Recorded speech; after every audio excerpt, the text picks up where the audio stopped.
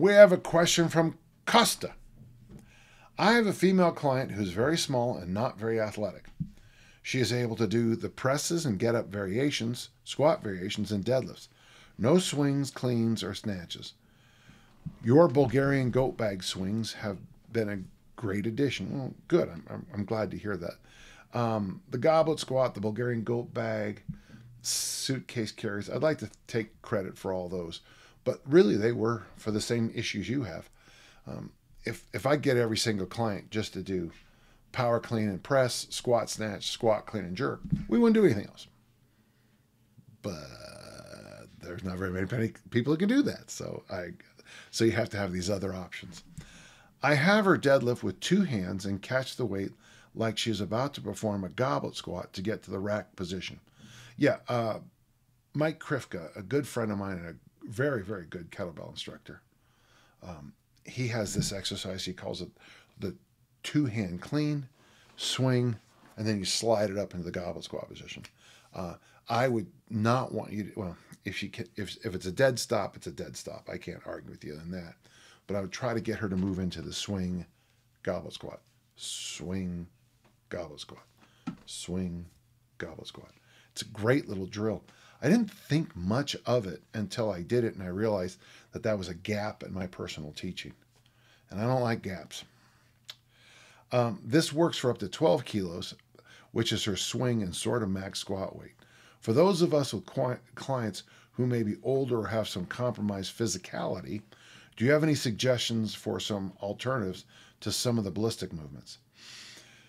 Uh, you didn't give me her age, uh, but um, that Krivka two handed clean is kind of a nice uh, gateway to ballistics because it's it doesn't have to be a very big swing at all. It's almost uh, so. I mean, depending on how you pick it up, I'd like you to do it a certain way. Obviously, I think everything's a swing with kettlebells, but if you just had her pop it back a little bit, that's all the momentum she would need, and then go vertical and do the slide.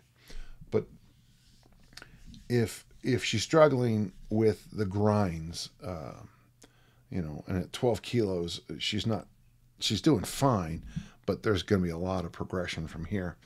Um, keep with the grinds until the ballistics maybe unpack themselves. You know, the, one one day it'll be like, oh, and you'll see it sometimes.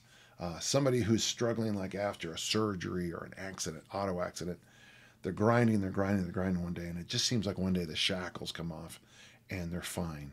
Uh, I don't know how well I answered your question, Costa, but let's do this.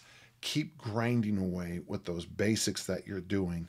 Maybe introduce the uh, Krivka Clean, the Krivka Clean, and uh, um, and then just give it a few, a little bit more time, and just keep talking and keep showing where the progress is.